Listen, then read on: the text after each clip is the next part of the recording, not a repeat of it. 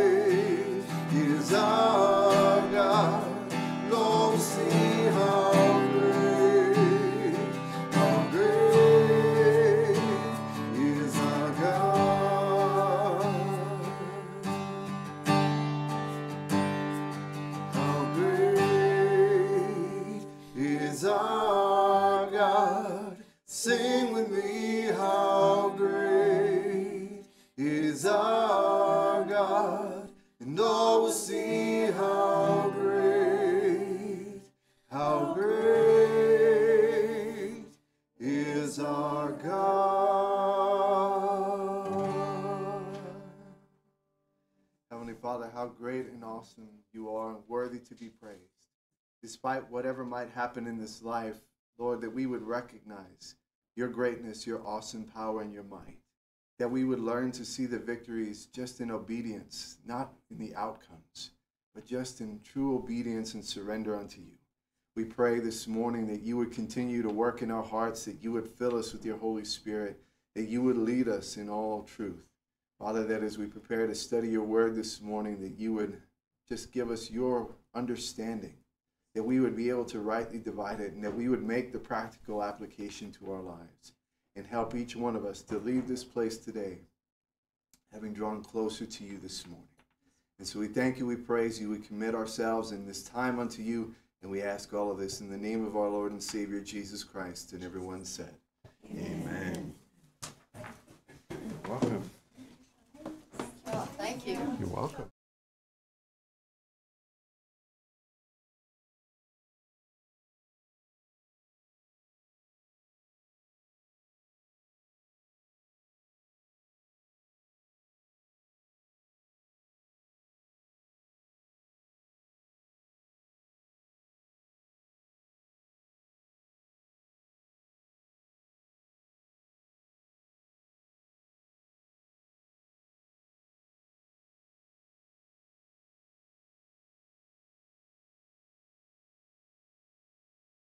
Good to see you. Yeah, yeah. Is anybody? You can sit here. Okay, that's fine. Good morning, everyone. Um, so, um, uh, Sue introduced me last week, but for those of you who are not here, my name is Marina Biddle. Um, I'm the drummer's wife, if anybody wants to. Um, uh, so, um, I taught, um, in the evenings about five years ago, and then, you know, work got crazy and things like that. So, um, so I am excited and so blessed, and I get emotional, by the way, so, um, uh, I'm already feeling it. Um, so I'm excited and I'm really blessed to be able to teach you guys, and, um, and I'm just so happy to be able to. Um, so, um, I love teaching God's word. I'm sorry. Okay, so um, let's just start with prayer and uh, and let's get started. Um, Heavenly Father, we just thank you, Lord, that you are with us and that you love us and that um, and that we we just have an opportunity, Lord, to draw close to you. And we just thank you, Lord, for for just bringing us all together in in your spirit. And um, we just pray, Lord God, that as we prepare to to um to to go over these verses, Father God, that you just speak to our hearts and that you give us your words, that you teach us, and that um, that you just uh, let us know, Lord, that that whatever whatever we're carrying, whatever is happening, Father God, that you are with us, and we can just let it go. And right now, Lord God, just set our minds to calmness and help us, Lord, to just hear from you, hear your word, and just draw close to you. In Jesus' name we pray. Amen. Okay, so I titled this Forgive and Finish Strong. Um, and the title probably won't make sense until the end, so, You want to give the date and the Sure. scripture at the beginning. okay. Um, so today is April 18th, 2023, and this is lesson 22, 2 Timothy 4, 6 through 16. Um, and so um, last time, um, Sue taught and we learned about uh, Paul's exhortation to Timothy to be wary of false teachers who could come in and corrupt believers with false doctrine. Um, Paul warned um, and encouraged Timothy to preach the word, to be watchful, endure afflictions, and do the work of an evangelist to fulfill his ministry.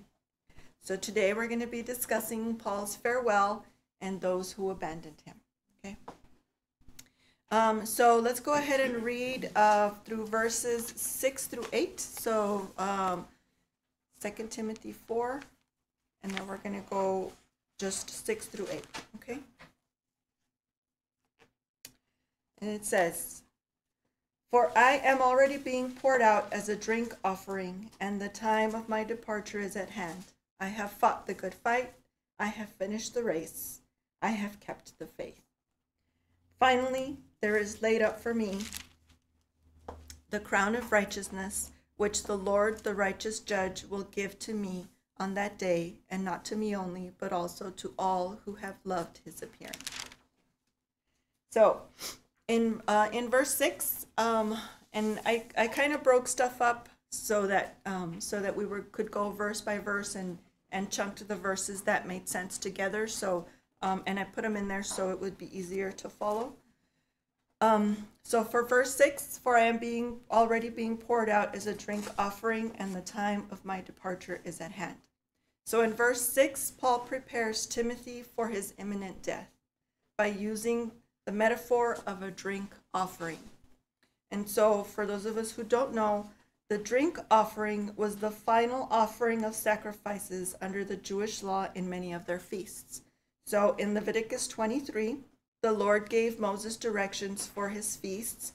Um, and in reference to the Feast of Tabernacles, we see in verses 37 and 38 that the Lord says, These are the feasts of the Lord, which you shall proclaim to be holy convocations to offer an offering made by fire to the Lord, a burnt offering and a grain offering, a sacrifice and drink offerings, everything on its day, besides the Sabbaths of the Lord, besides the gifts, besides all your vows, besides all your free will offerings which you give to the Lord.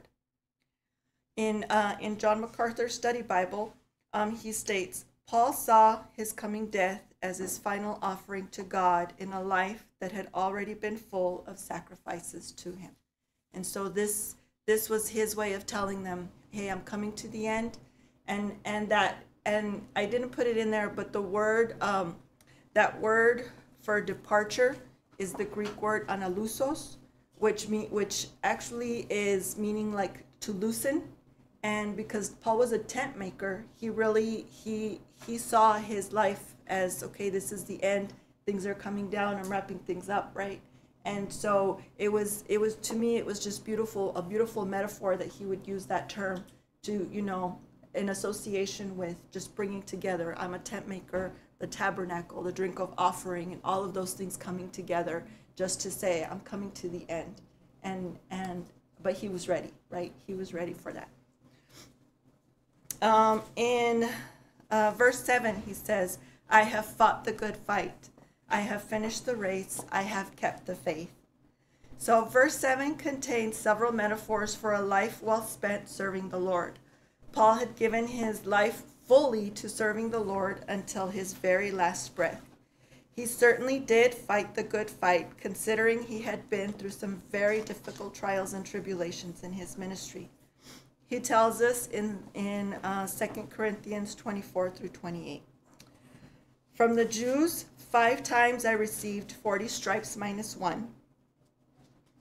Three times I was beaten with rods. Once I was stoned. Three times I was shipwrecked. A night and a day I have been in the deep. In journeys often, in perils of waters, in perils of robbery, in perils of my own countrymen, in perils of the Gentiles, in perils in the city, in perils in the wilderness, in perils in the sea, in perils among false brethren, in weariness and toil, in sleeplessness often, in hunger and thirst, in fastings often, in cold and nakedness, besides the other things, what comes upon me daily, my deep concern for all the churches. And how many of us would not have stopped stopped after the first lashing, right? Hey, I, I've been beaten. Maybe I, maybe I, this is too much for me, right? Um, but not Paul. yeah, yeah. But Paul continued on like a runner who paces himself with his eye on the finish line. He pushed on until the very last trial and kept the faith. A beautiful example of what it means to live for Christ. He knew what was coming, but it, he but he did not waver because he knew what was on the other side of the suffering in this life. And we all have our stories, right? We all have our struggles. We all have our pains. We all have our aches and pains as we get older, right? Um, but despite all of that, you know, we push on, and it's a blessing. It's a blessing to see you ladies come from week to week, pushing on, continuing in the faith. And for Paul, I mean, he, you know, our, our little aches and pains are no comparison to the sufferings that he went through or the sufferings of Jesus, but we push through because we know what's on the other side, right? We love the Lord and we know we know we have the hope of heaven and that's what we're that's what we have and that's where we're going. Finally, there is laid up for me the crown of righteousness, which the Lord, the righteous judge, will give me on that day, and not me only, but also to all who have loved his appearing. That's verse 8. So here in verse 8, Paul endured being poured out through the trials and tribulations because he had the hope of heaven.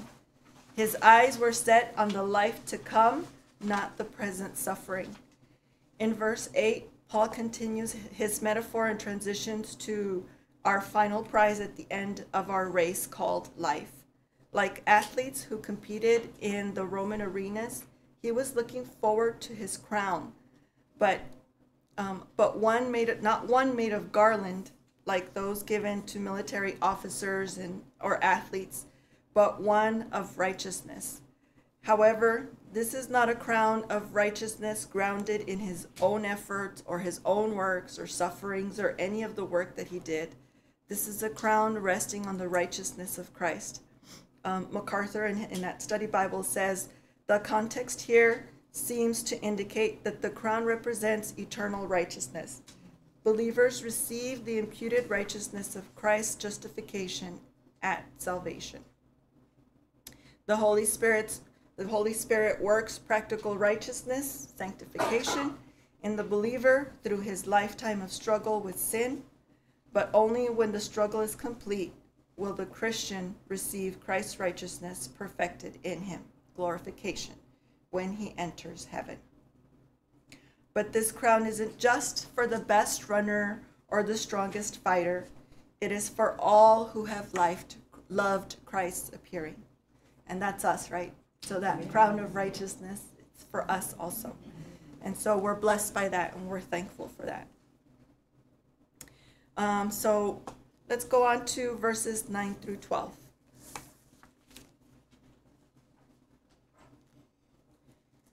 So in verse 9. Sorry, my both bifocals don't always work the way they should. Be diligent to come to me quickly, for Demas has forsaken me having loved this present world, and has departed for Thessalonica. Crescens for Galatia, uh, Titus for Dalmatia. Only Luke is with me. Get Mark and bring him with you, for he is useful to me for ministry. And Tychicus I have sent to Ephesus. All right. So this section is titled The Abandoned Apostle. So, despite all of his physical trials and sufferings at the hands of unbelievers, um, Paul had to face one of his final trials, which was being abandoned by those he called friends and fellow believers.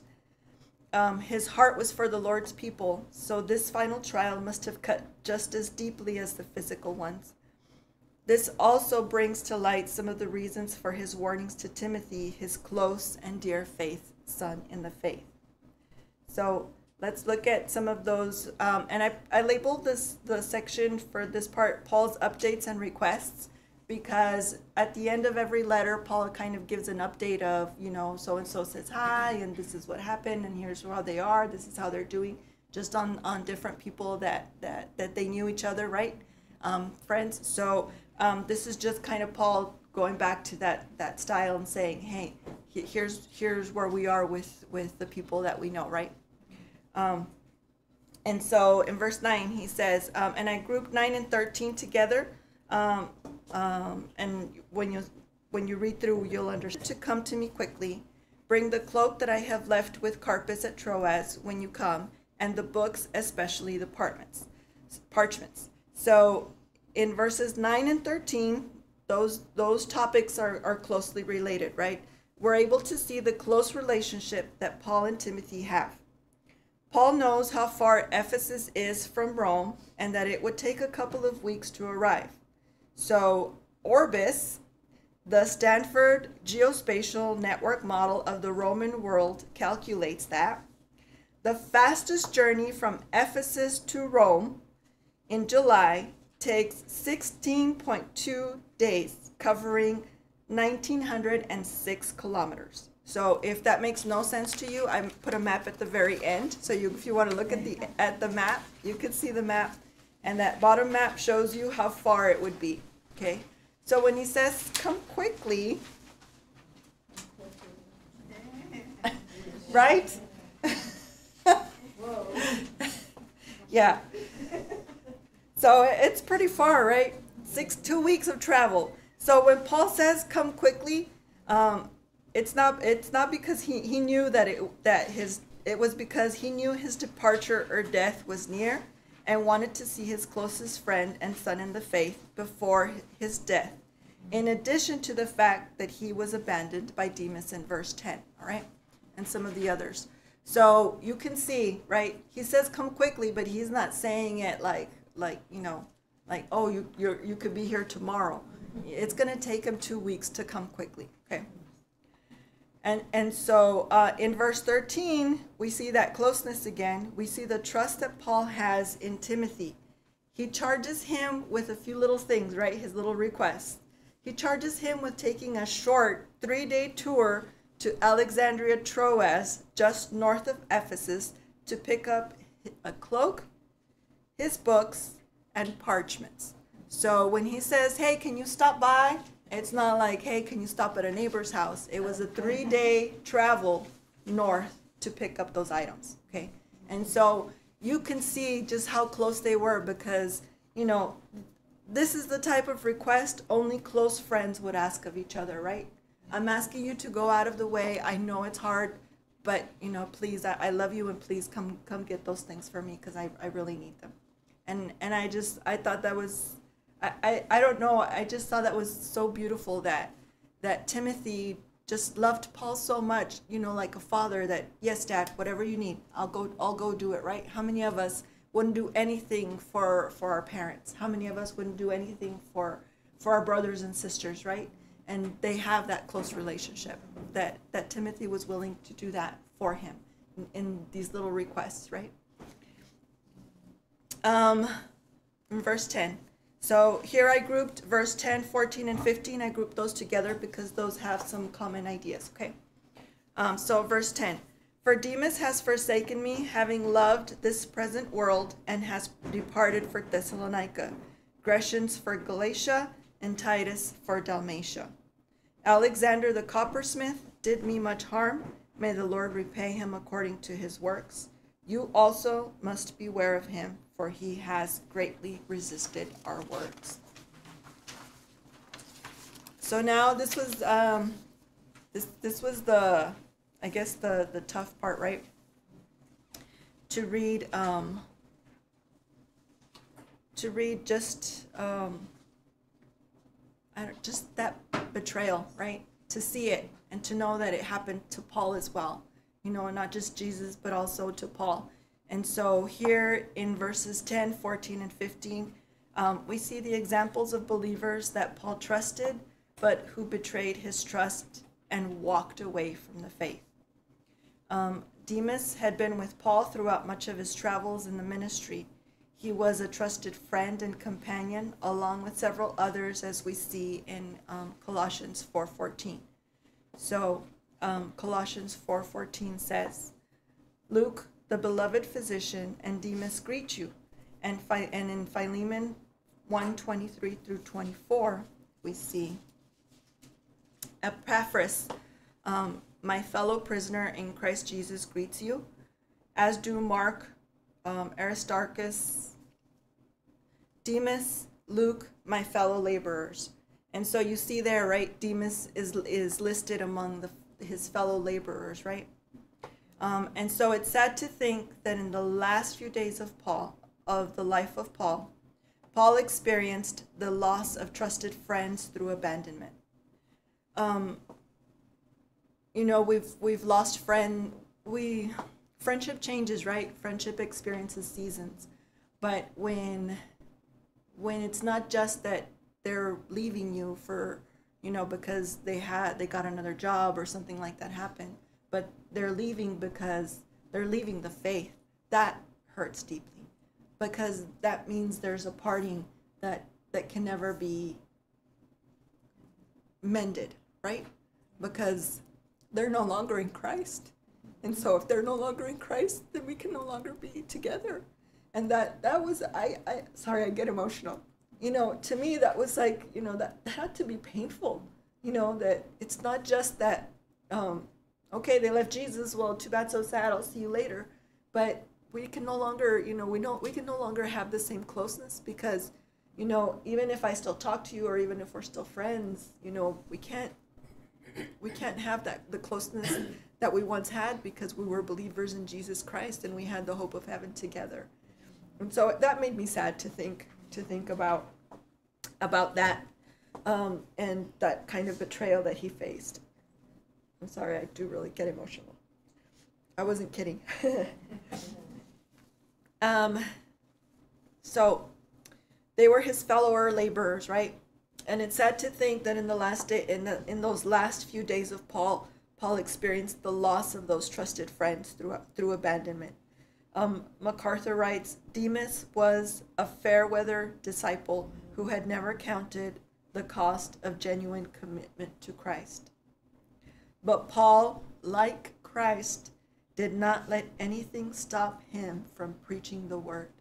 Despite that pain, despite that hurt, it doesn't matter because what matters is not the ones who have left, but the ones who remain. And I have to love them and I have to preach to them and I have to teach them God's word because that's what matters, right? So we see a further example of Paul's faith and determination to preach the gospel through his experience with Alexander in verses 14 and 15. So Alexander opposed Paul's teachings and likely spread his own false doctrine. He may have been instrumental in Paul's arrest and may even have borne false witness against him.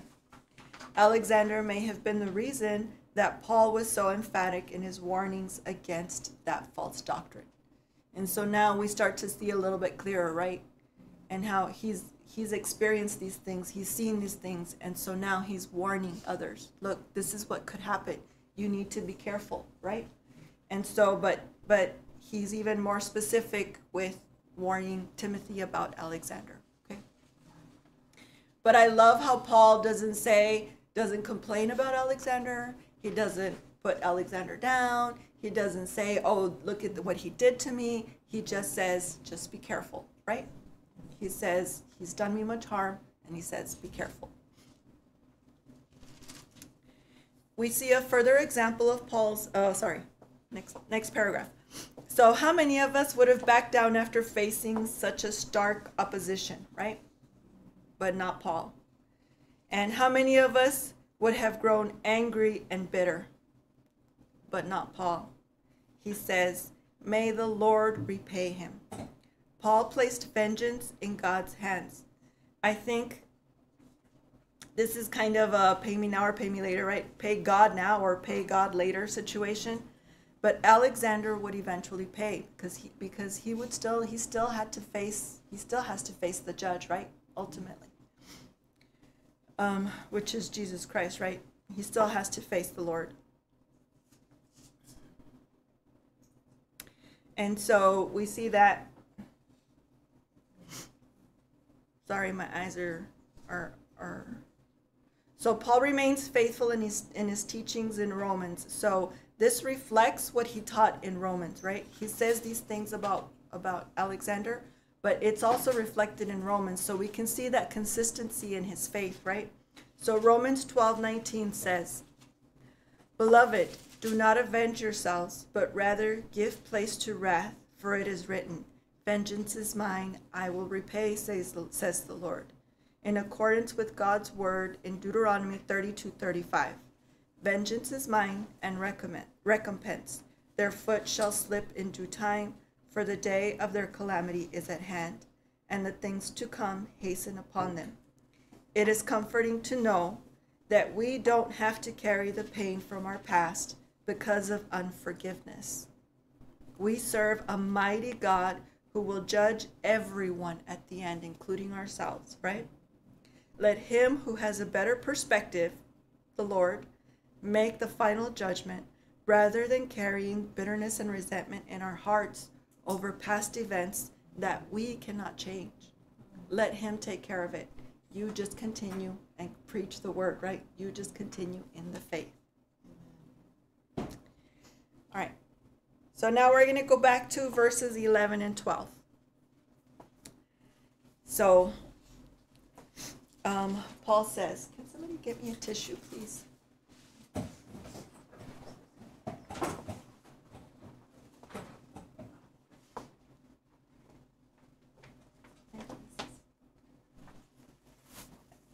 meant to, to have a box ready.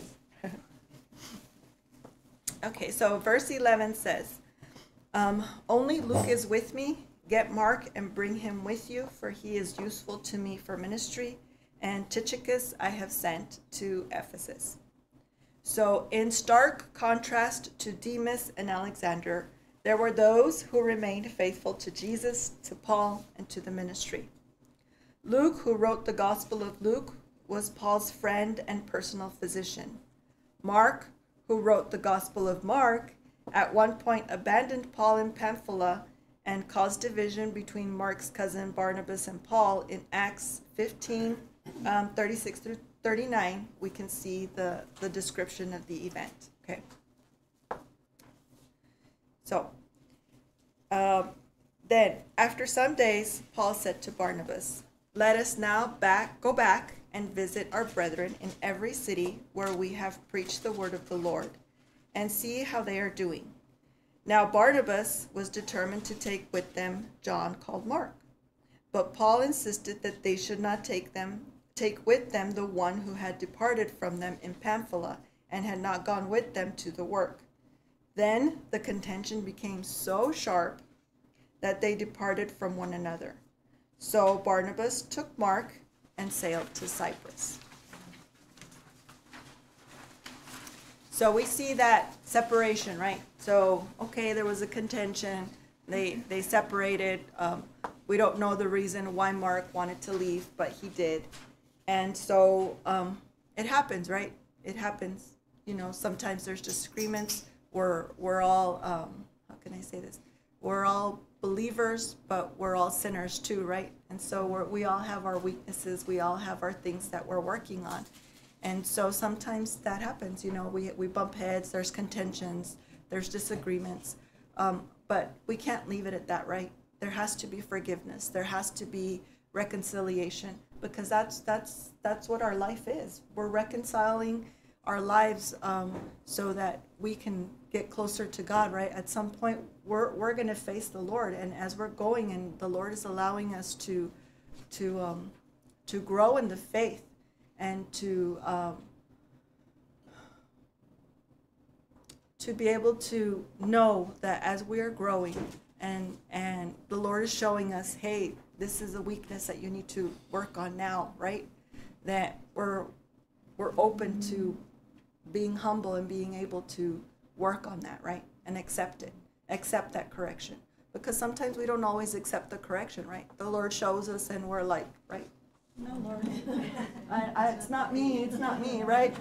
But um but you know, when he shows us, we have to be humble because he's going to continue and it's going to continue and we're going to face the same trial over and over until we we we humble ourselves and say yes lord you're right and then and then handle it the way that the lord wants us right and so at some point mark was restored and became a trusted and dependable friend to paul exemplifying forgiveness restoration and redemption and so yes there was a contention at some point but there was also forgiveness.